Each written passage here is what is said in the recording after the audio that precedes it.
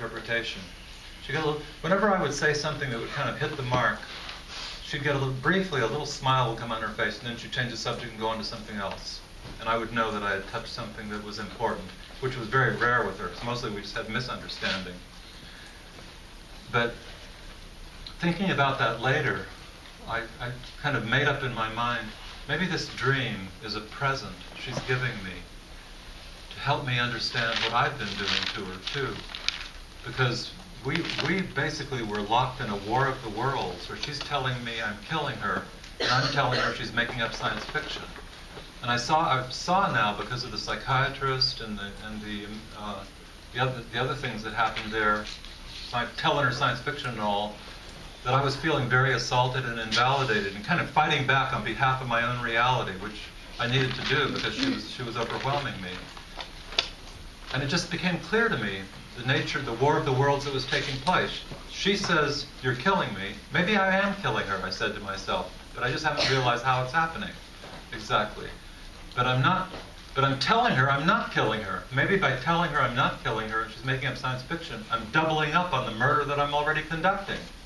It's like, uh, like what if, some, if somebody's killing you and you tell them you're killing you and they say you're making up science fiction, but if they're shooting you, and her dream involved the, experience of being shot, and the person who's shooting you, and the bullets are coming and penetrating and penetrating and penetrating, and then you say, stop doing that, uh, and they say, I'm not doing anything. The very, the very denial that you're doing anything is almost like you shoot them even faster and more and more, make it more bloody and more lethal than ever before. And, and the thought ran through my mind, there must be something I am doing without realizing it. I must be looking at her a certain way. I must be conveying to her that I don't understand her, that she confuses me. I must be making her feel she's a sick schizophrenic. I must be, I must be having a pathologizing attitude, or it must come across that way. Then I thought about what is Anna's issue really, and what's the theme of her life? It's really one, she, she's a person subject, like in the dream, to annihilation, to complete wipeout of anything, but a shadow on the wall. That's, a, that's all that's left is just a faint silhouette of something indistinct. So maybe what Anna needs, I said to myself, is a different response, one that does not deny the destruction, one that more joins it, not joins into further destruction, but joins with the idea that, it, that something has been happening that is enormously destructive and is hurting her and killing her and taking away her feeling of Anna-ness, rendering her nothing but a shadow on the wall. And maybe that's, maybe that's her sensitivity, that's her vulnerability. And she's symbolizing the effect of the absence of that by this idea of rays coming in that are penetrating her. So I decided I would take a different tack with her. And I got real excited at this idea.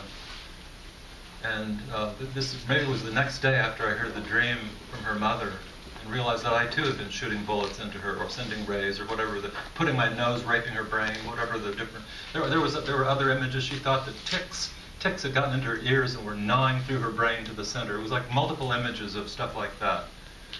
But all of them, I was thinking, what these are are destructive, annihilating, intrusive invalidations coming from other people, including George E. Atwood IV. Okay? So the next time we sat down in the morning, putting myself back in this too, and it was morning, it was like 10.30 in the morning, and we're sitting outside the, the cottage where she spent her evenings and nights, whatever, on a little park bench, and I said to her, uh, she was she was starting again about the rays or something. I said, "Shut up for a minute. I've got something so important to say to you. It's unbelievable." And I put my finger on her lips to shut her up, like I did with the uh, "Hit Me, Hit Me Too" the, the day we did that. Just let me let me say that. Let me just say my thing. So she was quiet. You're not going to believe this. You're just not going to believe. You have to live through these things to see if such a thing would be possible there's something that I haven't understood that I do understand now, Anna. I have been hurting you really, really, really badly. The hurt has been so, so terrible. I haven't seen it. I didn't understand it. I do see it now. I do understand it.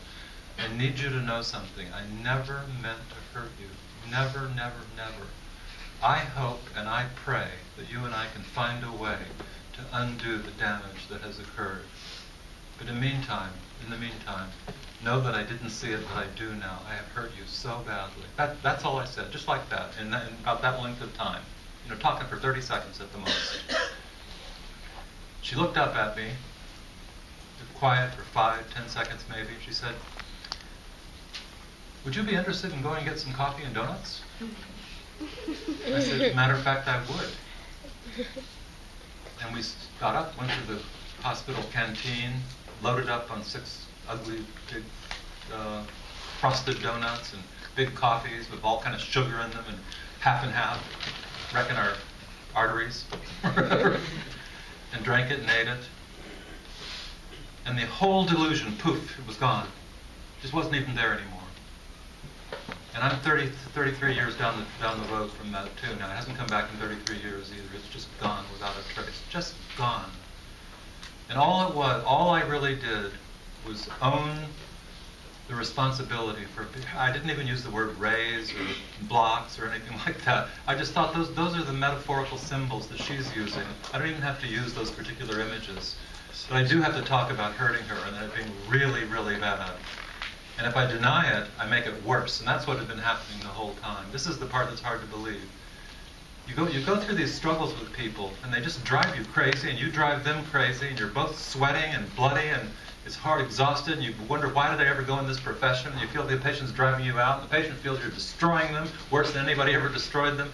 And then a moment comes, and if there's understanding, sometimes, often, the, it's like the sun comes out, the clouds lift, the storm ends, and she was so much better after that. And the, the, the entire structure of paranoia just vanished without any trace at all. And all it seemed to be seemed to be required was for me to grasp that she really was feeling intruded upon, annihilated, wiped out, in just the way she'd been describing it.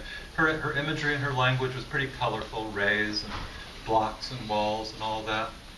I was able then to understand what the whole thing about birth was. It, it's, it's like being born.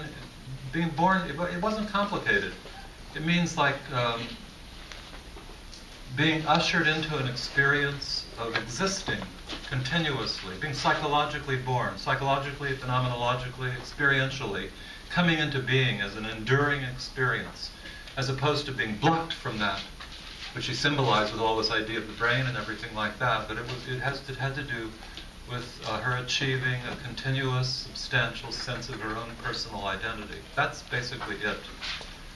And uh, what, what an experience that was. It taught me so much. And the, the, the role of the concept of validation in particular, and invalidation, in the psychotherapy of people who are uh, designated schizophrenic is so important and central. It's scarcely seen at all in contemporary psychiatry because they believe in the medical model.